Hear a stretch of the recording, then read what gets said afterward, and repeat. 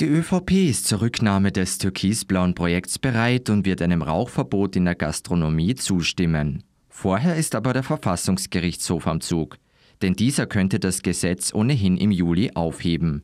ÖVP-Clubobmann August Wöginger stellt klar, dass der Verfassungsgerichtshof in der kommenden Einheit über das Rauchverbot entscheiden wird. Wenn das Gesetz gekippt werde, dann sei die weitere Vorgangsweise klar. Er ist sich sicher, dass dann das Rauchverbot eintritt. Und Wöginger weiter, sollte der VfGH die derzeitige Regelung nicht aufheben, dann würden wir einem Antrag für das Rauchverbot die Zustimmung geben. Das ist die Linie der neuen Volkspartei. Weitere Beschlüsse, die wir gefasst haben, werden wir aber nicht zurücknehmen, so der ÖVP-Clubobmann abschließend.